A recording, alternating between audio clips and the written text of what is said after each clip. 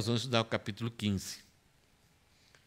E a ideia do capítulo 15 é que a transgressão assimilada impede a percepção do livramento proporcionado por Deus. O que quer dizer isso? Quando estamos fora dos objetivos de Deus para a nossa vida, nós somos seres pecadores que pecamos. Pecamos aqui, pecamos ali, pecamos ali. Ah, quando pecamos, o Espírito Santo já, já nos cutuca, nós nos sentimos bem, a nossa mente nos incomoda, e aí temos que logo, vamos logo para. Talvez a gente deixe um tempinho, mas aquilo lá fica remoendo. Deus instiga esses sentimentos contra nós mesmos, para nos incomodar, para tirar a paz, até que chega um momento que a gente, Deus, eu pequei, né? ou alguém confronta, a gente vê na palavra, uma música. Não sei quantas experiências teve já a respeito desse jeito. Então a gente se, se arrepende, volta, a gente desfruta da graça, daquele óleo de Deus em nos limpar. Então você vê Davi pecando de uma forma grave, tanto com a, com a mulher e depois colocando o marido dela para em frente de batalha e morrer. Nove meses ele ficou ali. Ele fala que os ossos dele tornou é, envelheceu tudo, doía tudo. Ele passou a ter crises assim, até que chegou um baixinho, confrontou ele, ele buscou o perdão em Deus, ele foi liberto daquilo. Por um pecado. Dois pecados graves. Mas o, a questão maior e mais perigosa é quando vamos assimilando uma cultura contrária ao padrão de Deus. E aquilo vai gradativamente vai tornando a nossa vida o jeitão de pensar. E, isso muitas vezes é através da, de coisas que parecem parece inofensivas. É, é o sistema de valores é o senso de juízo que vamos passando a ter uma lógica e começamos a viver dessa forma. E chega ao ponto que a gente assimila e vive desse jeito. Então, o que vamos ver aqui em Sansão é a situação da nação de Israel. A transgressão, isto é, eles, eles transgrediram a aliança com Deus, e essa transgressão foi assimilada por muito tempo. E agora a cultura pagã faz parte do senso de justiça e o senso de valor deles, não mais a aliança, não mais a vontade de Deus. Então essa transgressão assimilada, ela impede, ela nos cega, ela rejeita a percepção do livramento proporcionado por Deus.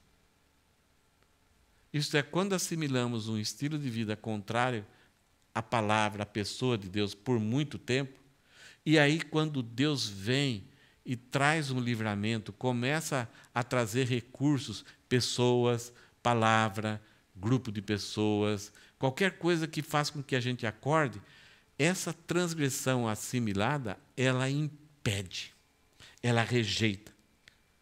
Ela, porque essas coisas parece que são inimigas, elas atormentam. Então o que Deus vai fazer? Deus vai continuar aquele processo de instigar, vai fazer com que tudo que a gente tem, que são gostosos, que é pensamento, prazer, tudo vai se tornar contra, vai ser o nosso inimigo. Por quê? Deus quer nos reformar. Deus quer nos trazer de volta. E aquilo que é bom, que é pensamento, desejos, vontades, planos, se tornam tudo contra a gente. E o próprio Deus, e aí a gente chega diante de Deus muitas vezes e vão falar: Deus, o inimigo está nos atacando. Não é o inimigo. Boa parte é o próprio Deus. E é, na história de Sansão a gente vê isso. Vamos, vamos caminhar e descobrir essas verdades aqui, de que a transgressão assimilada, quando ela se torna parte da nossa vida diária, ela impede que a gente enxergue o livramento de Deus. A gente rejeita. Então, vamos dar uma olhada na história. No último capítulo, fala que a, aquela esposa que foi dada para Sansão, ela traiu ele e ele foi embora. Foi embora com um bicão para casa. E aí no versículo 1 vai falar o seguinte, do capítulo 15: Passado algum tempo desse casamento frustrado, que a moça traiu ele, que o, que Sansão teve que pagar aquelas roupas para os filisteus, passado algum tempo, nos dias da colheita do trigo, Sansão, levando um cabrito, foi visitar a sua mulher. Passou um tempo, esfriou a cabeça, ele pega um cabrito, na época das colheitas lá, ele voltou lá para trazer um cabrito, para fazer a lua de mel com, com essa sua esposa. E dizia, ó, ele está no caminho com o cabrito na mão, ele estava pensando: vou entrar no quarto da minha mulher. Vou para a lua de mel. Já, é, águas passadas, né? Porém, quando ele chega lá, o pai dela não o deixou entrar. E o pai dela disse para ele: Eu realmente pensei que você tinha muito ódio por ela. Claro. Mas ele, depois de pensar, ah, eu, gosto dela desde o princípio, quero ficar com ela, vou, vou relevar isso, vou, vou, começar uma vida nova. Então o pai dela fala para ele: Eu realmente pensei que você tinha muito ódio por ela, e por isso a dei ao seu companheiro, um dos companheiros que estava lá na festa. E ela casou com esse cara aí naquele dia. Mas você não concorda que a irmã mais nova é mais bonita do que ela? Fique com ela em lugar da outra. Entenderam a história aqui? O cara está se fazendo de palhaço. Estão fazendo ele de palhaço. É o sentimento dele. Puxa, eu, eu vim aqui, os caras forçaram a minha esposa, eles descobriram, eu tive que pagar porque ela me traiu, eu fui embora de mão abanando, aí eu pensei direito, bem, eu assumi o compromisso de casar, vou voltar lá. Quando eu chego lá, ela está entregue para um outro para um outro cara que participou da festa. Quer dizer, eu perdoei ela. Então, todas essas situações estão sendo controladas com Deus para que os sentimentos dos filisteus para com os israelitas fossem de aversão e os sentimentos dos israelitas com os filisteus também fossem aversão. Deus está criando inimizade. Porque aquela assimilação do, dos israelitas pela opressão dos filisteus está, colocou a nação de Israel em viver uma vida sem propósito sem finalidade. Deus não escolheu a nação de Israel para viver daquele jeito. E a nação de Israel estava contentinha. Então Deus está instigando aqui. Entenderam a história, né? Tranquilo? Sansão volta com o cabrito na mão, e aí percebeu que não tinha nada na mão. E aí o pai até oferece a filha mais velha, falando: ela é mais bonitinha, mais novinha. Aí fica com ela aí. E aí Sansão não gostou disso e eu estão me fazendo de palhaço. E é a pessoa certa para Deus provocar. Se fosse qualquer um de nós, tá é fazer o quê, né? Não vou querer encrenca, vou embora. Mas aqui Sansão é a pessoa ideal para Deus usar, porque ele não vai se contentar, ele vai ficar indignado. O que estão fazendo comigo? E aí a própria imagem vem aqui com o título 300 raposas incendiárias. Eu espero que você não ria nem imagine coisas ruins aqui. Se fosse isso nos nossos dias, Sansão seria é, preso, é, condenado pelo Greenpeace, pelo processo de, da natureza, de proteção aos animais. Né? Mas olha só o que Sansão fez aqui na época. Versículo 3. Mas Sansão disse: Desta vez sou inocente para com os filisteus quando lhes fizer algum mal. Ah, veja o coração dele, está assim. Dessa vez, se eu fizer algum mal contra os filisteus, eu serei inocente, porque olha só o que eles estão fazendo comigo. Então saiu, olha o que ele fez. Apanhou 300 raposas, ou um outro tipo de animalzinho parecido com as raposas, que, que na nossa na nossa língua é, pode ser traduzido por raposa. Apanhou 300 raposas e pegou um bom número de tochas. Amarrou as raposas duas, as du duas a duas pela cauda e prendeu uma tocha em cada par. Pôs fogo nas tochas e largou as raposas nas plantações dos filisteus. Assim incendiou tantos feixes como o cereal que ainda está por ser colhido, além das vinhas e dos olivais. Que trabalho que ele teve de pegar as raposas. E depois amarrar as tochas no rabo de duas a duas. é trágico, né? é cruel com os animais, mas tem até um tom meio de divertido aqui. Né? Porque esses animais saindo pelos campos, não somente pelos olivais ali, incendiou tudo, ah, os feixes que já estavam colhidos, o cereal que estava para ser colhido, acabou com as vinhas e os olivais.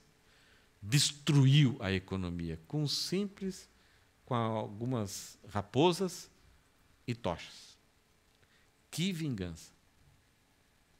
Então Deus está instigando, o coração de Sansão está sem controle, e é Deus que está provocando a situação. Vai culminar no capítulo 16. Né? Mas a história está começando a ter guerra aqui entre o opressor e o oprimido. Versículo 16, versículo 6. Os filisteus perguntaram: Quem fez isso? Claro, né, não é aquele fogaréu, aquele incêndio. Então eles queriam saber como que aconteceu isso. E as pessoas então responderam: Sansão, o genro do Timinita, aquele que era o pai da, da moça lá, porque o sogro lhe tirou a mulher e a deu ao amigo dele. É interessante que as pessoas são reducionistas. Tinha toda uma história desde o começo. Eles foram culpados. Eles é, exerceram pressão sobre a, a, a, mulher. A mulher entregou com medo de que ele, os filisteus fizessem algum mal. E isso acabou causando isso. Mas a resposta muito reducionista é essa: o culpado é o sogro, porque ele não deu a filha e quis dar outra. Então, acharam já o responsável. Olha só, então os filisteus foram e queimaram a mulher e o pai dela. A mulher e o pai dela, eles são o quê? Israelitas? Não. Eles são do povo filisteu. É um povo que é cruel com eles mesmos. E Sansão disse a eles: Se é assim que vocês fazem, quer dizer, o próprio Sansão estava aqui com um sentimento de indignação deles terem feito algo com uma mulher que traiu eles, que era o sogro deles. Eles, eles são cruéis, cruéis sem limite. O próprio Sansão ficou indignado com eles, com deles terem feito isso com alguém que, os, que tinha prejudicado eles. Então Sansão disse a eles: Se é assim que vocês fazem, não desistirei enquanto não me vingar. E ele os atacou com fúria, matando muitos deles. Depois desceu e habitou numa caverna da rocha de Etã. Não para. Uma coisa gera outra. É Deus instigando para que chegue um momento que haja uma quebra do vínculo, um desvincilhar. Quando é, é, é isso que era um, tipo viver com uma aliança, uma sujeição, acabe com a nação de Israel. Pare para com a nação de Israel. E aí a próxima a próxima imagem vai mostrar que o próprio povo de Israel, o pequeno texto aqui vai mostrar o quanto o povo de Israel estava assimilado aos filisteus. Eles vão rejeitar. Quando a transgressão é assimilada, Deus manda um libertador, manda um livramento, mas a gente está tão apegado àquele jeitão, àquela cultura, à, à, àquela forma de viver, que a gente rejeita qualquer fonte, qualquer, é, qualquer coisa que venha de Deus que possa nos libertar. Então, a própria nação de Israel vai, part, vai querer continuar daquele jeito e vai rejeitar aquilo que Deus está trazendo como libertação. Olha só o que aconteceu. Essa assimilação, quando a gente assimila a transgressão, a gente fica cego. A gente não consegue enxergar como que Deus está nos livrando. E a gente quer que Deus nos livre simplesmente um pouquinho das dores, mas não dos hábitos errados que estão provocando aquelas dores. Versículo 9. Então os filisteus subiram e acamparam em Judá. Sansão é da tribo de, de é, ah, dos Danitas, da tribo de Dan. É uma tribo bem pequenininha. uma tribo violenta. Uma história dessa tribo aí com Moisés é uma tribo sempre que dá trabalho. Sansão é de lá, é uma tribo bem pequenininha, que na, na posse da terra falharam muitas vezes. Aí os filisteus vêm e começam a se alojar numa outra tribo grande ao sul de, de, da tribo de Dan, que é a tribo de Judá. E quando os filisteus chegam ali, os, os, os moradores de Judá ficam assim: o que está acontecendo? Porque nós estamos assim nos comportando do jeito que vocês querem, por que, que vocês estão aqui? Então, olha só o que acontece. Então os filisteus subiram e acamparam em Judá, espalhando-se por Lei. Os homens de Judá perguntaram aos filisteus: Por que vocês estão nos atacando? A gente está se comportando certinho. Então os filisteus responderam: Viemos prender Sansão para fazer com ele o mesmo que ele fez conosco. Sansão tinha tacado fogo, então o que eles querem é queimar Sansão como queimaram a, a ex-noiva dele, como queimaram o pai dela. Olha que o, os, os irmãos de Sansão, a outra tribo irmã, o povo de Israel, uma parte do povo de Israel fez. Então, três mil homens de Judá sabiam do problema com Sansão, então juntaram três mil homens de Judá. Em vez de lutarem contra os judeus, eles vão lutar contra Sansão. Eles estão rejeitando o, a, o instrumento que Deus está usando para criar intrigas para libertar ele dos filisteus. Mas eles vão atrás, eles vão rejeitar esse instrumento de Deus. Então, três mil homens de Judá foram até a caverna da rocha de Etã e disseram a Sansão: Você não sabia que os filisteus dominam sobre nós? Você não sabia? Olha que acomodação. Não sei se a sua cabeça está fazendo uma correlação com a pessoa de Jesus também. Na época de Jesus, a nação a nação de Israel estava tão assimilada à transgressão, tinha até um partido dos judeus que chamava Herodianos. É aquele partido que aceitava o domínio de Herodes sobre ele e o poder de Roma. E quando Jesus veio trazendo libertação espiritual, mas também uma libertação que ia culminar numa, no reino de Deus, o que, que eles fizeram com Jesus? Jesus era um instrumento de libertação para eles. Em várias cidades onde Jesus passou, ele foi expulso.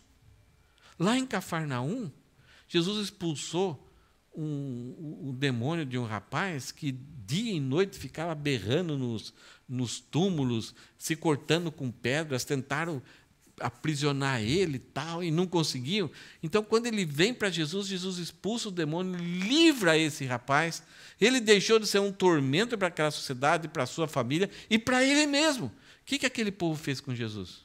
E, e além de tudo, os demônios falaram para Jesus: Olha, por que você veio nos atormentar do tempo? E aí pediram para que Jesus jogasse, é, transferisse ele para os porcos, e os porcos não aguentaram pular, é, se atiraram no despenhadeiro e morreram.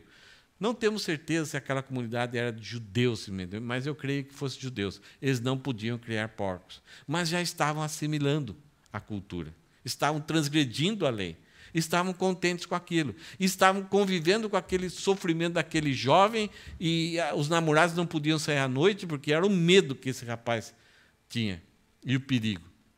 Aí, quando Jesus liberta ele, liberta a, a comunidade de, de criarem porcos, que não podiam, o que eles fazem com Jesus? Expulsam Jesus. Nós queremos, eh, essa história, a história de Jesus, ela dá a ideia que nós queremos agregar Deus à nossa vida, mas não queremos que Ele venha e cumpra a sua vontade em nossa vida, fazendo as mudanças necessárias que são. Nós queremos somar Jesus ao nosso estilo e que Ele nos dê vitória nas nossas vontades mas não sujeitamos a nossa vontade. O próprio Jesus, ele tinha desejos lícitos, que era a sobrevivência. Ele falou para o pai: Pai, se for possível, passa de mim esse cálice. Mas, seja feita a tua vontade. O próprio Jesus submetia a sua vontade ao Pai. Imagine nós, como que nós temos que fazer avaliações e saber, talvez alguns desejos que sejam lícitos, mas que não sejam a vontade de Deus. Então, três mil homens é, vão para Sansão, fazem esse questionamento. Você não sabe que os filisteus dominam sobre nós? Por que então você nos fez isso? Por que você causou essa, essa intriga, esse, essa, essa adversidade com os filisteus? Você está tirando a paz, a harmonia que nós temos com os filisteus. Eles é quem mandam. E aí Sansão respondeu: Assim como fizeram comigo, eu fiz com eles. Os homens de Judá disseram a Sansão: Viemos para amarrar você para o entregar nas mãos dos filisteus. Olha, parece que é uma ilustração, uma analogia do que fizeram com Jesus. Sansão disse: Jurem para mim que vocês não me matarão. Sansão aqui está falando: se vocês partirem para cima para me matar, eu vou ter que matar vocês, vou ter que lutar, vou ter que preservar a minha vida. E eu não quero fazer nenhum mal aos meus compatriotas. Esse será um grande erro meu. Então, podem me amarrar, mas não me matem. É interessante que é, Jesus se sujeitou, com todo o poder, toda, toda a glória, ele sujeitou a fazer aquilo que o próprio povo dele fez com ele. Amarraram, traíram, venderam ele, zombaram dele, ridicularizaram ele quando ele estava na cruz e ainda ele fala pai perdoa-se para quem não sabe. Então Sansão num, num, nível muito baixo de sensatez ele fala não me matem. Não tem a ideia é que não tentem me matar porque eu vou ter que me defender e aí eu causarei a morte do povo de Deus eu não, não faço isso prometam para mim jurem para mim e aí então tem a próxima foto estou trazendo umas fotos aqui de criança né amarraram Sansão e ele vai se livrar. Vamos ver como amarraram ele. Versículo 13. Eles lhe disseram: Não, nós somente vamos amarrar você e entregá-lo nas mãos dos filisteus. Mas de nenhuma, de maneira nenhuma vamos matar você. Então amarraram com duas cordas novas, né? A gente, quando fala duas cordas novas aqui, morando na cidade, a gente, o que, que é isso, né? É, o Fernando também sabe o que é isso. Cordas novas, elas. Você puxa caminhão, faz a força que fosse, for duas ainda, você não consegue. Ela é trançada de um jeito que não se arrebenta, né? Até para cortar é difícil. Então amarraram com duas cordas novas e o fizeram sair da caverna. É interessante que Sansão sabia que estava em maus lençóis, vai morar na caverna. Quando Sansão chegou a Leí, os filisteus foram gritando ao encontro dele. Então, aqueles três mil homens de Judá trazendo Sansão amarrado a cordas novas. Quando os filisteus viram ele de longe, ah! aquele monte de filisteus, ah, é nosso, é o triunfo, agora a gente arrebenta com esse cara. Na história de Sansão vai acontecer algumas vezes essa frase aqui. Mas o Espírito do Senhor de tal maneira se apossou de Sansão. Eu não sei se Sansão era um meio Schwarzenegger. Talvez não. Talvez não era muito alto. Talvez não era tão cheio de músculo. Mas e por isso que as pessoas talvez tinham até uma certa coragem de ir até ele. Como os filisteus, quando viram, saíram assim bufando. A gente vai estraçalhar.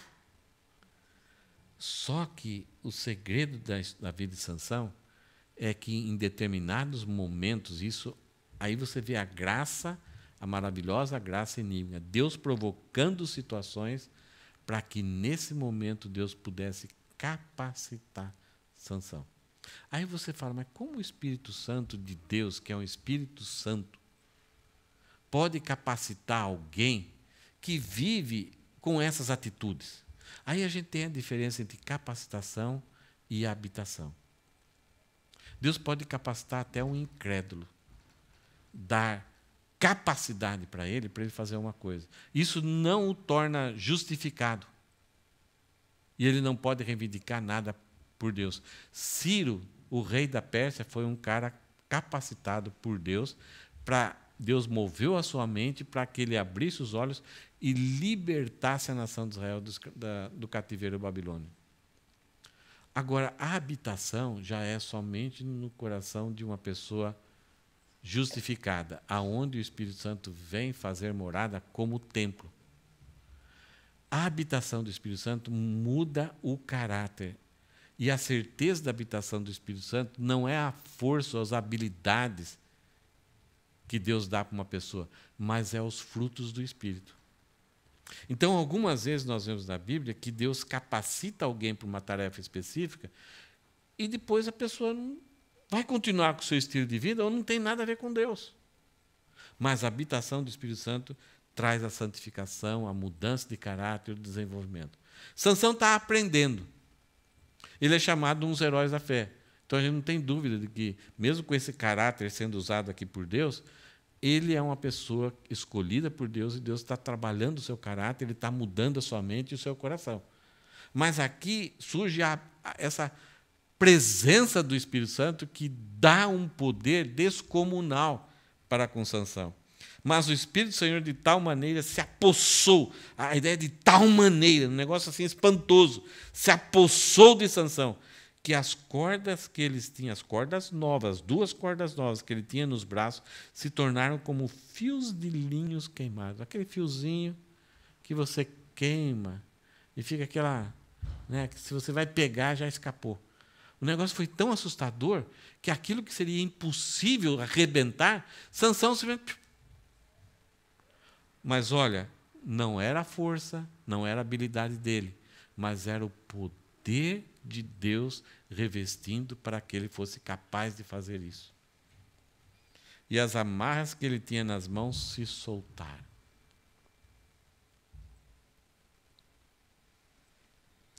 Uma das coisas que gente, talvez ao longo dessa história que a gente está falando aqui, que a transgressão assimilada, ela impede da gente ver o, o libertador que Deus está trazendo. Então, o que a gente vê aqui que o ser humano, nós, quando assimilamos algo, a transgressão por muito tempo e aquilo se torna cultura, nós não temos forças para nos libertar daquilo que estamos acostumados. E nem queremos, rejeitamos o libertador, mas a gente percebe que o poder, o, a, a fonte para nos desvencilhar, para para que, que, torna essas duas cordas novas que são indestrutíveis, o Espírito do Senhor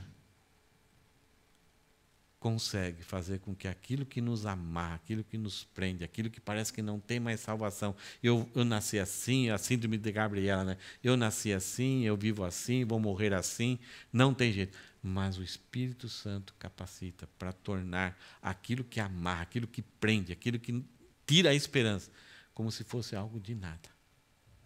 Talvez você já experimentou algumas coisas assim. Talvez você já lutou por muito tempo com algo que você fala, nossa, vou morrer com isso daqui. E, de repente, num contato de Deus, numa, uma, uh, num clamor com Deus, você vê que a força de Deus vem e aquilo que parecia nunca se desfazer, um perdão, uma, uma renovação do espírito, algo que não saía de jeito nenhum, aquilo se torna nada e vai embora.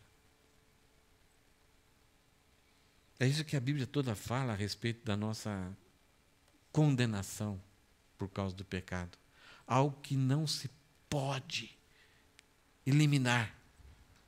Algo que está em nós, está impregnado, a nossa natureza, e nada pode desfazer a ação. Mas aí você, fala, você vê na Bíblia, aquele que crê será salvo. Parece que é tão simples assim. A gente não aceita que seja tão simples assim, mas é. É o pecado que são cordas novas que, diante do poder dos méritos de Jesus e da força do Espírito Santo, se tornam como fios de linhos queimados. São desfeitos e deixam de existir. Ainda nós não experimentamos o que será a nossa imortalização, a ressurreição, imortalização e a glorificação. Quando isso acontecer, vai ser o maior estrondo, o maior impacto que as nossas mentes vão enfrentar. E aí a eternidade vai ser nós glorificarmos a Deus. Porque nós não temos ideia do que é isso. De como seremos e como será desfeito toda a obra do pecado em nossas vidas. Nós já somos, já, já estamos absolvidos. Não existe nenhuma condenação para aquele que crê em Jesus. Já experimentamos um pouquinho do aperitivo da salvação. Mas a gente não imagina como será a concretização de todas as coisas da nossa vida. A ressurreição, imortalização e glorificação, remoção da nossa natureza pecaminosa. E os discípulos algumas vezes falaram para Jesus: Ah, isso é impossível. Ah, não tem jeito, não dá. E o que Jesus respondia para eles?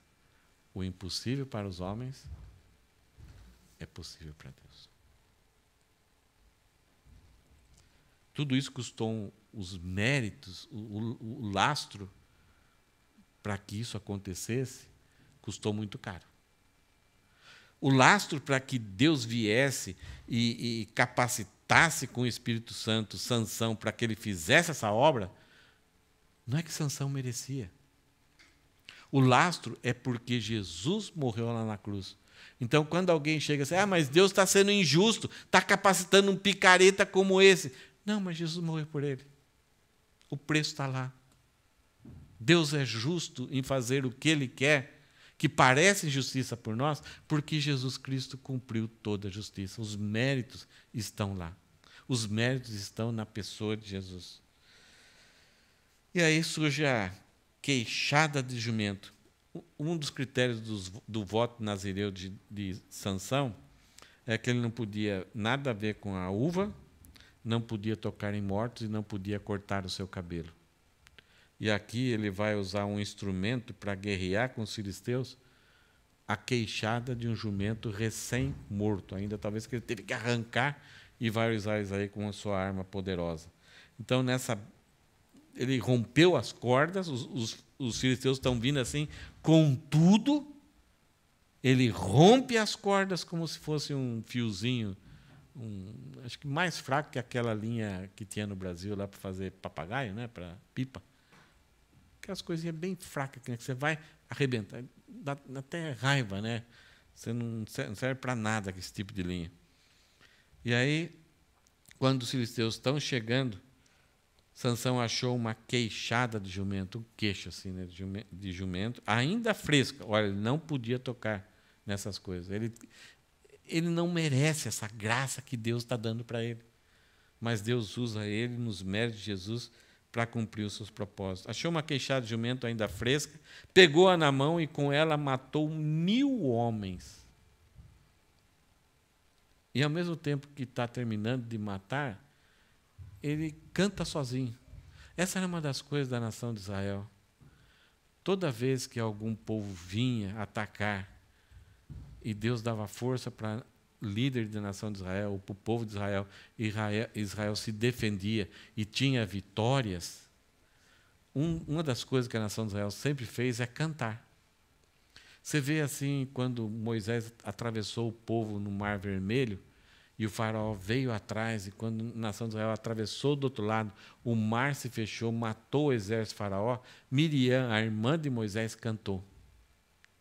Davi, diante de ataques de inimigos, ele, ele ia defender o povo, e Deus dava vitória para Davi. Uma das coisas que Davi fazia era cantar e entrar dentro da nação de Israel, cantando e dançando. E até teve uma mulher, filha de, de Sansão, de, de Saul, que criticou ele por ele estar fazendo aquilo.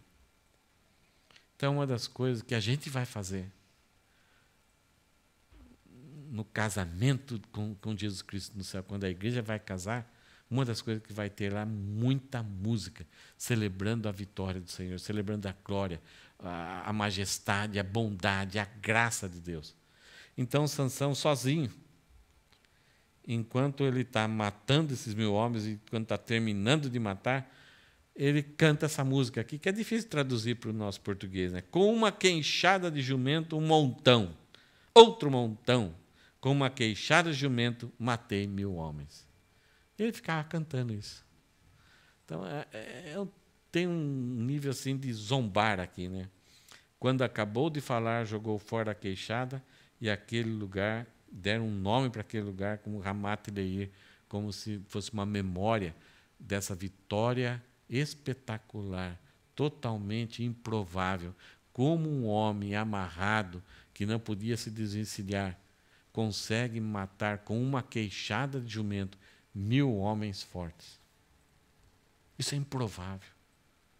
E a gente vê que o processo de Deus entre instigar inimizade e trazer os filisteus com a sua crueldade sem breque e enfrentar um homem capacitado por Deus, apossado, o Espírito Santo apossou dele.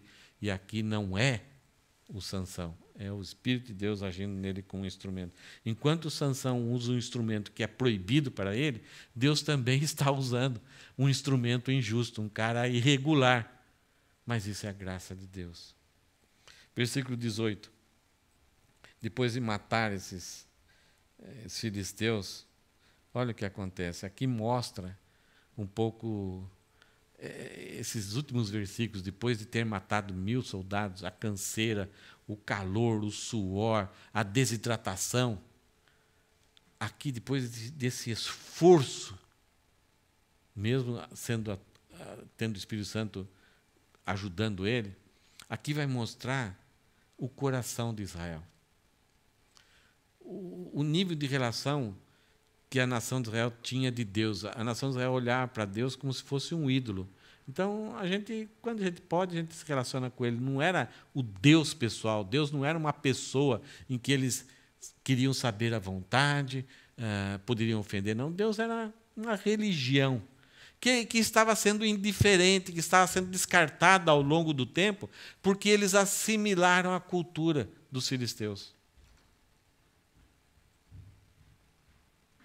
Olha só o tom. É a primeira vez que Salomão, ah, desculpa, que Sansão vai orar, vai clamar a Deus. Vejam aqui, ele estava numa caverna, o povo de Judá foi até ele, quer dizer, na caverna tá, não está se alimentando direito, não está dormindo direito, está todo desconfortável. O povo de Judá, o seu próprio povo, vai lá, pega ele, amarram ele, trazem para os filisteus. Os filisteus, quando vê ele, parte para cima dele. Ele pega uma queixada de, de jumento, mata esses mil homens filisteus, ainda canta, tem, tem fôlego para cantar, mas daí, olha só o que acontece, versículo 18. Sentindo muita sede, Sansão clamou ao Senhor. Primeira vez que mostra Sansão tendo uma palavra com Deus. E ele fala assim: por meio de teu servo deste esta grande salvação. Ele reconhece: olha, por meio de. O Senhor me usou, é o Senhor que está por trás desse livramento, de que uh, a nação de Israel vai ter um pouco mais de sossego. Nós derrotamos. Eles vão pensar duas, três vezes agora em fazer mal para a gente. E ele fala: será que agora vão morrer de sede e cair nas mãos desses incircuncisos, desses que não têm aliança? O Senhor me deu poder, deu uma vitória para mim, e agora será que eu vou morrer de sede aqui? Estão percebendo o tom?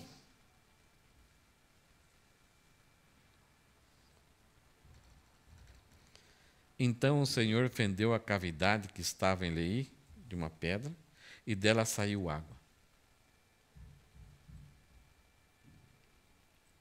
Por que será? Por que, que não veio um corvo com um copinho de água assim, né, com a tampinha, né, uma garrafinha d'água. Mas por que Deus fere uma rocha, uma fenda? A ideia é como se fosse uma bacia. Né? Deus tivesse ali uma, uma bacia, Deus fere ali, a água sai, está ali, uma água mineral, geladinha, ali no calorzão. Então o Senhor fendeu a cavidade, essa bacia que tinha tipo uma pedra assim, tipo formada de bacia, que estava em Lei, e dela saiu água. Gente, a gente, a gente tem que tomar cuidado de uh, falar o que a Bíblia não está falando. Algumas vezes a Bíblia só relata. Mas algumas vezes a gente tem uma certa liberdade para ficar com uma pulga atrás da orelha. Moisés, quando estava no deserto, o povo reclamava toda hora. E o povo falava assim: é, você tirou a gente do Egito para morrer de sede nesse deserto. Moisés chegou para Deus: Deus, olha só, o povo está querendo água, estão morrendo de, de sede, sei lá. Deus chegou a Moisés: Moisés, pega o teu cajado e dá uma pancada naquela rocha. Já viram essa história? Já? E aí Moisés deu uma pancada, machucou a rocha, e desse machucado na rocha saiu água. Oh! Moisés, no deserto, que coisa legal, Moisés. Oh Deus, valeu aí. E o povo, Moisés, legal, muito bom. E o povo saciou. Os povos, outros inimigos em volta, como esse povo consegue? Onde eles sabem que tinha água e estão bebendo dessa água maravilhosa aí e tal? Beleza. Passou-se algum tempo, o povo novamente reclamando contra Moisés. Moisés perdeu a paciência. Moisés chegou para Deus e falou: e agora? Deus falou para ele: Moisés, ordena a rocha. Ali já era uma ideia a respeito de Jesus. Para nós sermos curados espiritualmente, primeiro Jesus terá que ser ferido. A nossa condenação será eliminada. Mas nós continuaremos pecar, mas nós não precisaremos sacrificar, nós só pediremos e confessaremos o nosso pecado e Jesus trará a água da vida, ele nos purificará. Mas nós não vamos precisar estar toda hora ferindo Jesus.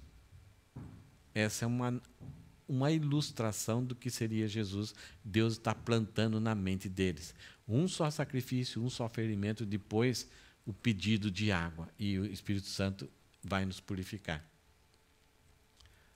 Aqui, quando Moisés ouviu isso de Deus, que ele deveria somente ordenar agora e a rocha daria água, Moisés chegou diante do povo.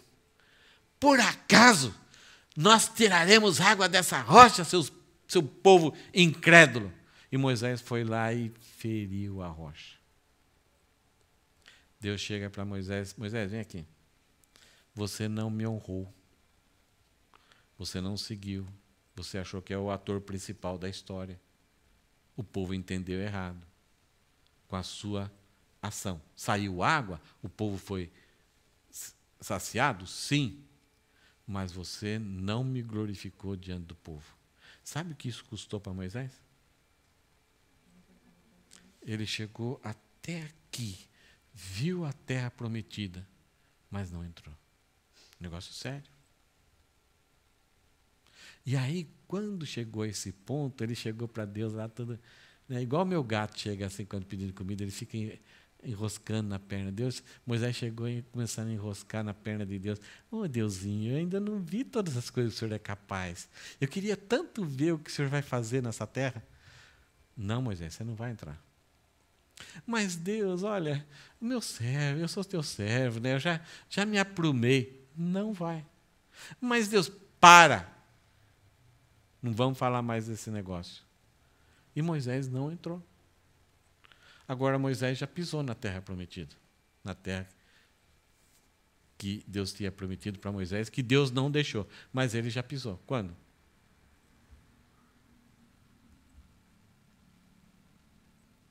no Monte da Transfiguração. Tá? Moisés, Elias, Jesus e os discípulos. Então imagine aquele momento de Moisés, ah, tanto tempo esperando. E aí Deus deu aquela graça para ele. Talvez, versículo 19, então o Senhor fendeu a cavidade que estava em Lei e dela saiu água. Talvez Deus está querendo comunicar, relembrar para Sansão que Ele é o mesmo Deus. É o mesmo Deus justo, o mesmo Deus verdadeiro, é o mesmo Deus da aliança de Abraão, Isaac, Jacó, que sustentou Moisés, que sustentou Josué, é o mesmo Deus que de Eude, de Sangar, de Débora, de Gideão. É o mesmo Deus que supre, é o mesmo Deus que sustenta, mas é o mesmo Deus sério, gracioso, mas severo. É o mesmo Deus que não faz aliança com povos que não pertencem a Ele.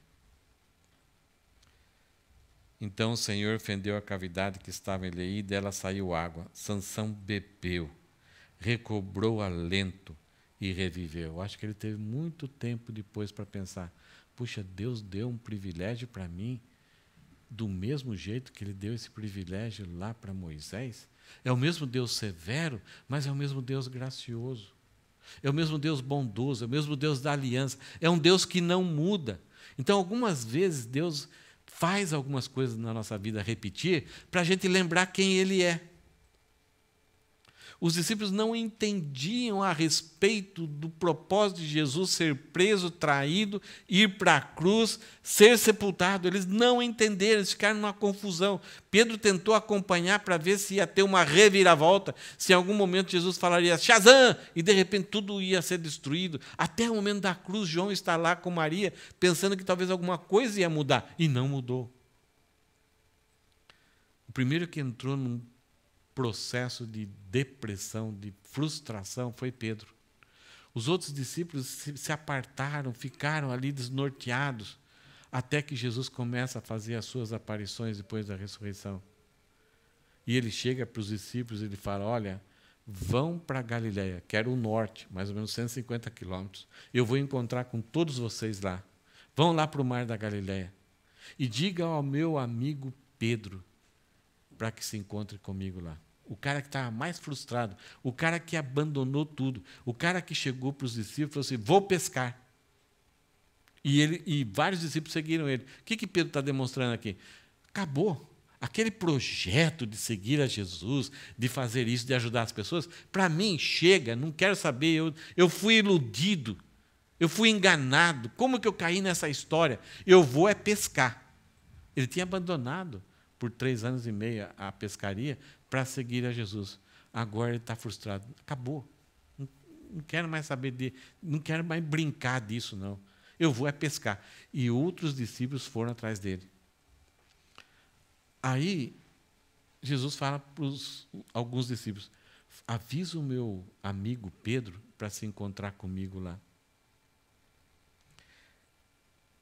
E no na época marcada assim, quando eles vão na, na, na, na margem, à noitinha, na margem do mar da Galileia, eles, vê de, eles veem de longe um, uma pessoa com uma fogueirinha assando peixes. E eles vão chegando assim, ressabiados, e vão percebendo que é Jesus sem falar nada. Eles olham para o mar, olham para o peixe, e aí Jesus, venham, comam. Só isso foi suficiente. O que, que Jesus fez com eles? Levou eles a reativarem as experiências, as memórias que eles tinham com Jesus. Foi naquele lugar que eles chegaram totalmente é, desanimados, não pegamos nada, não, não prestamos para nada, está tudo contra nós. E aí Jesus chega para eles: olha, vamos, meio-dia, não se pesca meio-dia. Vamos lá. Vamos, vamos, coloque o barco aí. E chegou. Atirem, a, a, a, lancem as redes novamente. Um carpinteiro falando para pescadores profissionais. Você não sabe nada. Aí Pedro falou: tá bom, sobre a tua palavra eu vou lançar. E lançou. 153 peixes grandes. Tiveram que chamar outros barcos. Isso tinha acontecido quase há três anos, três anos e meio atrás. Agora Jesus vem para um lugar para reativar a memória deles. E aí Pedro, que estava deprimido, desanimado, angustiado, querendo desistir de tudo, ele é o mesmo Deus. Isso que aconteceu com Sansão serviu para a cabeça dele, olha, eu sou o mesmo Deus. Eu sou o mesmo Deus de Moisés e de Abraão, Isaac e Jacó, que fez uma aliança para que a nação de Israel fosse a nação que ia proclamar para todas as nações a minha glória, trazer o homem de volta para mim. Eu sou o mesmo Deus, não mudei. E esse poder que você está tendo é o meu espírito. E aí Sansão bebeu, recobrou o alento e reviveu. Parece que aqui né, reviveu. A cabeça dele foi a coisa principal, o coração dele foi a coisa principal. Por isso aquele lugar se chama em Acoré, o lugar daquele que clama. Foi a primeira vez que tem registrado o clamor de Sansão. Até o dia de hoje, até quando Samuel escreve esse livro, naquela época, na época ali de Davi, Sa eh, e Davi, Samuel escreveu esse livro. Então, até aquele dia, ainda esse lugar era chamado o lugar daquele que clama. Sansão julgou Israel nos dias dos filisteus durante 20 anos. Agora ele passa a ser o juiz, ele passa a ser o referencial, ele passa a trazer libertação daquela situação de opressão que os filisteus dirigiam. Mas a história não continua aí, continua semana que vem. Ok, talvez agora vocês consigam já entender essa frase maluca que eu coloquei, né? A transgressão assimilada, aquilo que a gente vai se condicionando, aquilo que não, é, não agrada a Deus, mas vai tomando parte da nossa vida, vai acrescentando coisas, comportamentos, sentimentos, afeições, paixões, que é algo contrário à vontade de Deus. Quando assimilamos isso como nosso comportamento, ela impede a percepção do livramento de Deus. A gente eh, podemos ouvir uma palavra, um versículo, uma música, alguém nos advertindo, a gente ah, é a sua ideia, é o seu pensamento, a gente rejeita a situação. E o exemplo daqui foi que os, o povo de Judá foram para pegar a sanção e entregar para os filisteus. Algumas verdades que talvez a gente podia só pensar e terminar. Pecado assimilado por muitos anos se torna difícil desvencilhar e até clamar por socorro. Pecado assimilado, quando assimilamos um pecado, não é pecado pontual. Pecado pontual é fácil a gente deixar de fazer, não fazer mais. Mas aquele pecado que vai sendo cultivado, depois para parar, para eliminar, para desvencilhar, sabe? Sansão não tinha força nele mesmo para arrebentar com aquelas cordas. Teve que ter o Espírito Santo vindo sobre ele, é somente a graça, o poder dele, de Deus, para tornar aquilo quase que inutilidade. Então, se a gente está se debatendo com alguma coisa que parece que não vai ter saída, somente a graça de Deus pode. Como Sansão clamou aqui por água, a gente tem que clamar também. Somente o poder da graça divina pode nos desvencilhar. Não tem, desvencilhar é. Né, tá tudo enrolado aqui, você tirar esses nós. Mas, por causa do Fernando estar tá aqui, a gente conversou um pouquinho sobre isso. Eu acho que pecado assimilado é quando é, é, é muito semelhante. Não sei se a ilustração é boa ou não, mas é quando aquele cachorro morde o porco espinho. É. Só que o cachorro sofre, né? Algumas vezes o pecado assimilado a gente acha que é o único jeito de viver, é daquele jeito. Mas o cachorro, se você vai tentar arrancar aquele espinho, ele, ele vai olhar para você e falar: O que você está querendo fazer comigo? Você se torna um inimigo dele. Né? E algumas vezes é isso que acontece. Quando alguém vem nos socorrer vem tentar nos ajudar, a gente pensa que as pessoas são nossos inimigos. E pensamos até que Deus é o nosso inimigo. Né? Queremos as benesses da aliança. O que é benesse? Aquilo que é bom. Segurança, significado, proteção, futuro. A gente quer, quer as benesses, quer as coisas boas da aliança. E até rejeitamos o livramento oferecido por Deus. Queremos somente a benesse, e quando Deus está trazendo algum livramento para uma mudança radical na nossa vida, a gente rejeita. Porque não é de nossa natureza se livrar da opressão maligna. Essa é uma das verdades. Não existe em nós, a nossa natureza pecaminosa, ela não quer se livrar da opressão maligna. Como a nação de Israel. Eles estavam oprimidos, 40 anos servindo os filisteus, mas eles não queriam. Não havia dentro deles um clamor: Deus nos liberta, mande um líder aqui para nos, nos, ajudar a libertar. Não. Quando o líder surgiu, o que, que eles fizeram? Amarraram. E entregaram. Não é da nossa natureza se livrar da opressão do pecado na nossa vida. A palavra vem e fala: você precisa se livrar. As músicas vêm, você precisa se livrar. E aí a gente tem que se render, clamar e depender do poder de Deus, da fonte do poder e da graça de Deus, porque a gente não merece essa libertação. É o poder, é a graça, a misericórdia, é a bondade, é a soberania de Deus que pode trazer uma vida que a gente se desvencilha daquilo que nos prende.